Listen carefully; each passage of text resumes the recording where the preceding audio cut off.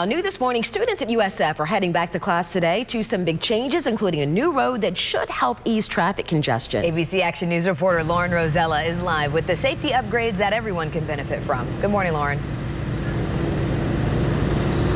Hey, Jasmine and Dia, good morning. So we're out here on uh, Bruce B. Downs and Fletcher, and we all know how congested this area can get, especially around rush hour. But now a brand new way to get on and off campus on Fletcher. So it will ease that traffic that backs up onto USF Palm Drive and create a safer pedestrian crossing. There's also a brand new 300 car parking garage just for residential students. Now, USF is also moving along on its brand new residence hall and dining area. The new 375 bed residence hall will expand USF's on campus housing by nearly 70% and is expected to be finished by next year.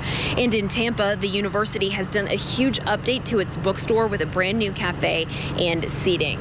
And back out here live coming up ahead in our next half hour, the new app that's allowing students to feel a lot safer on campus and also clue their parents in to what's happening with them at school. For now, reporting live in Tampa, Lauren Rozyla, ABC Action News.